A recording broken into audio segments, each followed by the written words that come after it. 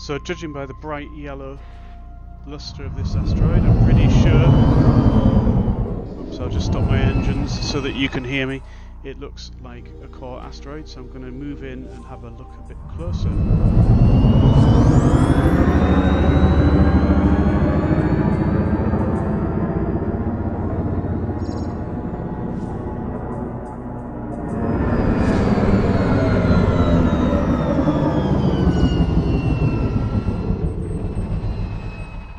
Right there in front you can see an asteroid fissure, so I'm now 100% sure this is a core asteroid, so let's see what it is.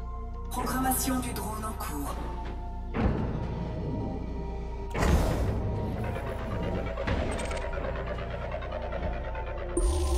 Drone prospecteur activé. Analyse de l'astéroïde terminée.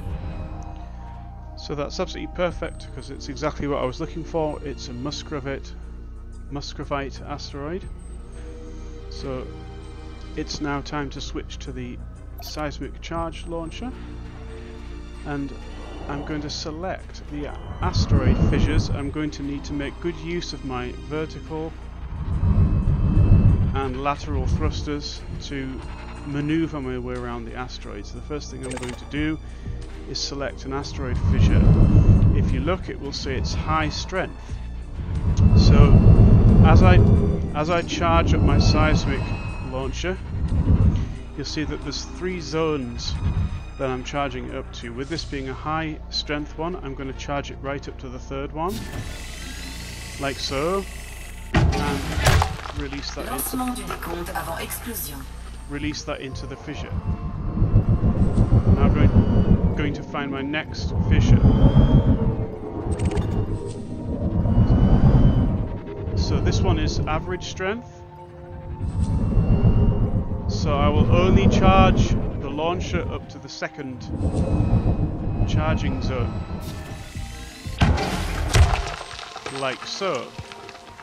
And if you look at the top right hand corner you'll see that the detonation yield is getting close to the blue zone and that's where we're aiming for but I do have a limited time to finish all of this if I fire too many charges or I charge them up too much, then I will exceed the optimum detonation yield and I will get a poor yield. So I'm trying to keep it within that blue zone. So this is a low strength, so I'm only going to charge up into the first zone, like so. Getting very close now to the optimum yield one's an average strength, but because I'm so close to the optimum yield, I'm only going to charge up into the low zone. So that's exceeded the optimum yield, so I'm going to disable that charge. And try again.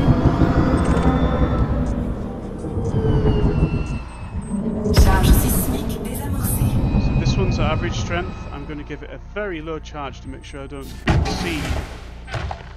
And that's about right. Close enough.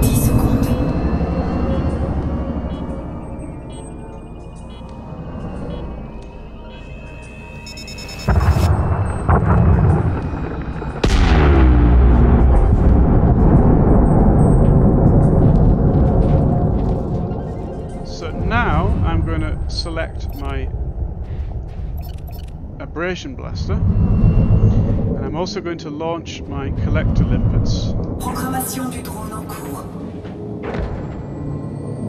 Programmation du drone en cours. You may well rather use more limpets than this. You may find it more efficient, it probably would be, but I'm settling for three on this current build at the time being. So the first thing I'm going to look for all of the loose chunks and pick them up first. So let's see where they are. There's some over there. So I'm going to my comms menu and just looking down and selecting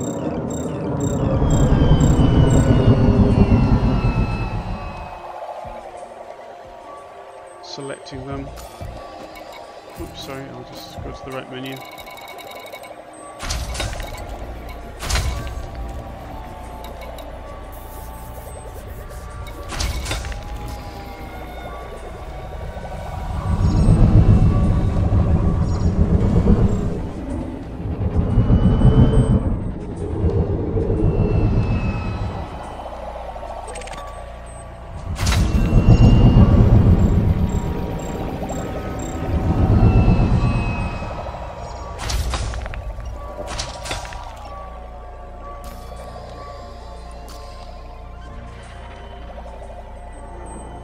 Also use your scanner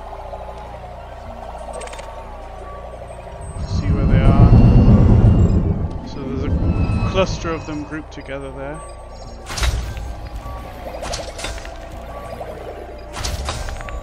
So I'm just going to wait for my limpets to pick those up. If I had more limpets this would be faster.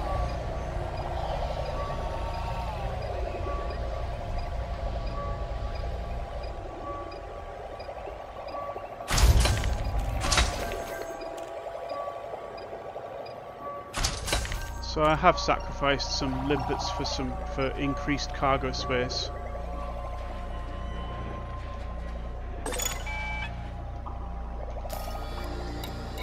So now the majority of the loose chunks have been collected. I'm now looking for the surface deposits. There's one right in front of me, so I've got my abrasion blaster selected and I'm just going to fire at that and break it off. And let's look for the rest of them. So here's another.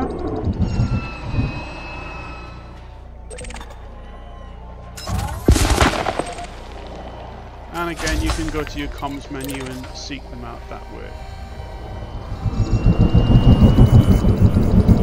I can see, whoops, I can see one that's closer. So we'll do this one first.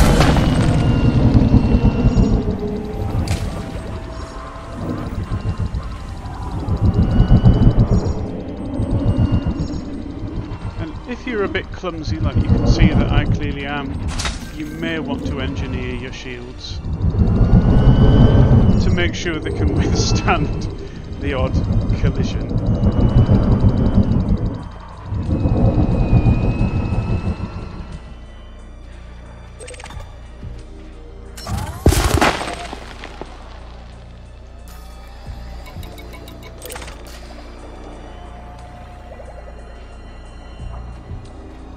Only a few left now.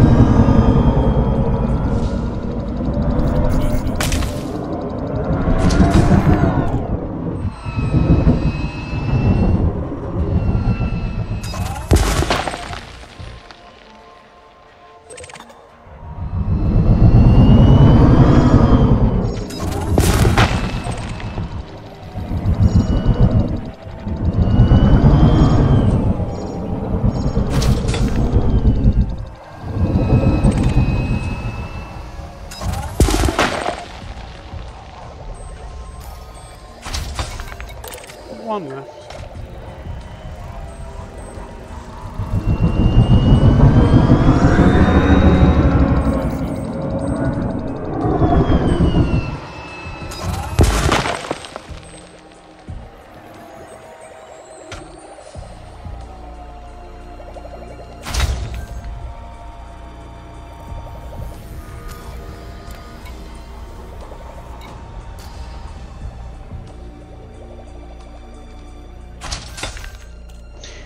And that's the last of them. So I look at my cargo hold now.